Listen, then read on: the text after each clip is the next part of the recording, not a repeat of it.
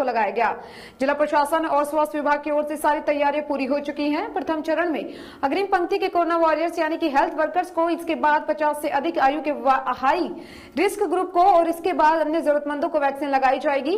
आज corona warriors vaccine लगाने हेतु पाँच केंद्र चयनित किए गए हैं, जो जिला चिकित्सालय दुर्ग, शंकराचार्य मेडिकल कॉलेज जुनवानी, सामुदायिक स्वास्थ्य केंद्र पाटन, प्राथमिक स्वास्थ्य केंद्र नागपुरा, शहरी प्राथमिक स्वास्थ्य केंद्र बैंकेट धाम है। और प्रत्येक केंद्र में पाँच पाँच वैक्सीनेशन ऑफिसर या वीओ रहेंगे। इसके साथ ही वीओ वन के रूप में पुलिस विभाग के अधिकारियों की ड्यूटी लगाई गई है, जो पहचान के दस्तावेजों की जाँच कर स्थापित करेंगे और इसके साथ ही वैक्सीनेशन के लिए आया व्यक्ति वही है जिसने पंजीकरण करवाया है।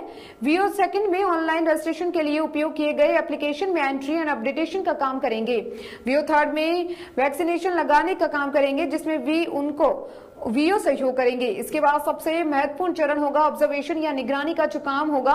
वीओ पाँच जो इस बात की देखरेख करेंगे कि वैक्सीन लगाने के बाद व्यक्ति को कोई साइड इफ़ेक्ट तो नहीं हुआ है?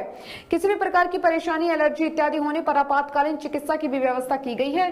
मुख्य चिकित्सा एवं स्वास्थ्य अधिकारी डॉक्टर गंभीर सिंह ठाकुर ने फ़ोन के माध्यम से बताया कि अठारह जनवरी से तीस जनवरी दो तक कोरोना वायरस का वायरस का वैक्सीन लगाने हेतु तो तेरह केंद्र चयनित किए गए हैं। इन केंद्रों में मंगलवार, शुक्रवार एवं शासकीय अवकाश को छोड़कर शेष दिवसों में वैक्सीनेशन किया जाएगा। जो निम्न अनुसार है, जिला चिकित्सालय दुर्ग, पंडित जवाहरलाल नेहरू चिकित्सालय एवं अनुसंधान केंद्र, सेक्टर नौ। Shri Shankaracharya medical college Junwani Chandulal Chandrakar memorial medical college, civil अस्पताल, सुपेला सामुदायिक केंद्र पाटन, सामुदायिक केंद्र झीट सामुदायिक केंद्र धमदाव, सामुदायिक केंद्र अहिवारा, सामुदायिक केंद्र कुम्हारी, सामुदायिक केंद्र बोरी, सामुदायिक केंद्र निकुम और सामुदायिक केंद्र उतई विपरीत प्रतिक्रिया होने पर प्रत्येक वैक्सीनेशन केंद्र एएफआई उपचार केंद्र स्थापित किया गया है। सभी केंद्रों में चिकित्सक की ड्यूटी लगाई गई है। वर्कशॉप ने बताया कि दुर्ग ज़िले में कुल दस डोज वैक्सीन उपलब्ध है।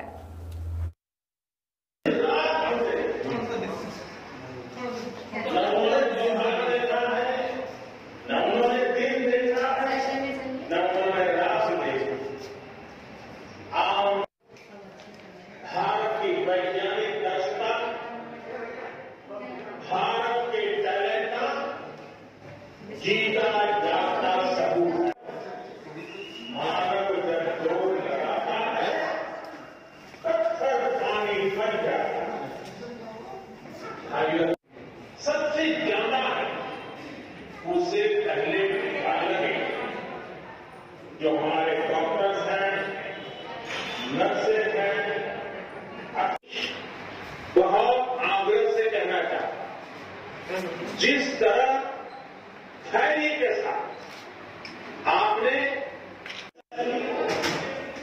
वैक्सीन प्राथमिकता लगे और मैंने जैसा पहले भी कहा है इनकी संख्या करीब कि आप लोग आराम से आइए और ये टीका लगवाइए और इसमें कोई भी किसी भी हेजिटेशन की कोई ज़रूरत नहीं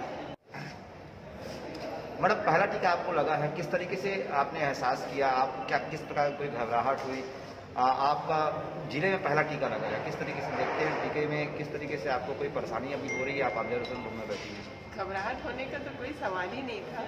ये टीका इतना अच्छी तरह से तैयार होके बन के टेस्ट होके तब ये अप्रूव होके फिर आया है। तो ये बल्कि मैं बाकी सब लोगों के लिए एक एग्ज़ाम्पल सेट करना चाहती हूँ कि सब लोग एकदम आराम से शांतिपूर्वक इसको लगवाएँ और ये पूरा वैक्सीन का जो वो है, वो पूरा